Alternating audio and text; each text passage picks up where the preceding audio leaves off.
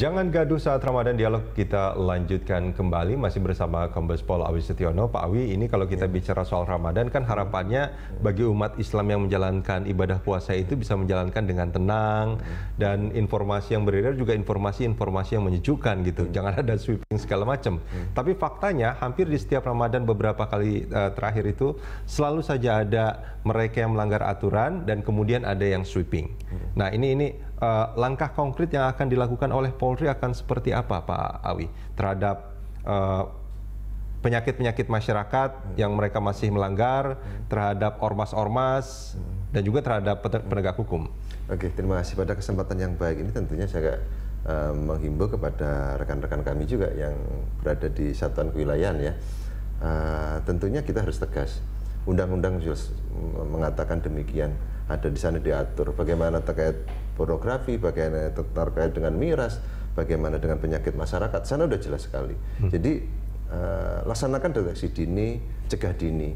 Kalau memang ini kita sudah tahu kalender kamtipmasnya ini mapping kita uh, di bulan puasa rawan ini rawan itu tentunya ya harus gerakan itu. Itu sudah ada mappingnya itu. Ya? Harus. Hmm. Dalam artian jangan sampai lagi kecolongan dalam hal kegiatan-kegiatan uh, yang tadi pelanggaran-pelanggaran hukum masih berjalan hmm. atau ada semacam quote and quote pembiaran itu tidak boleh harus dan, tegas dan ketidaktegasan Polri Insya Allah itu kalau polisinya tegas hmm. masyarakat tidak akan sweeping lagi nggak ada ormas mereka yang akan melakukan itu, ya? itu memang karena ada asap gitu loh hmm. nah ini yang perlu dicegah jangan sampai timbul asap polisinya harus tegas dulu okay. kemudian yang kedua masyarakat juga demikian kalau sudah tahu ini namanya bulan puasa, dilarang maksiat, dilarang ini, dilarang itu. Bahkan tempat-tempat hiburan sudah diatur jamnya oleh dinas terkait dinas pariwisata tentunya yang di sana stakeholder yang dikedepankan ya tolong ditaati hmm. jangan juga coba-coba mencuri-curi hmm. ini pelaku-pelaku bisnis ya pelaku-pelaku usaha hiburan ya. kemudian yang ketiga tentunya uh, ormas-ormas ya juga